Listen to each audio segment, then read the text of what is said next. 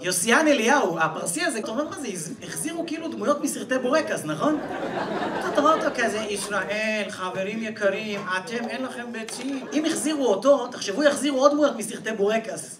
פתאום תראה פרשן כמו ששון. זאב רווח הזה, אני אומר לכם, צריך לשבור להם את הרגליים, ששון. עם מי אתה מתעסק על הבוקר? זה חמאס.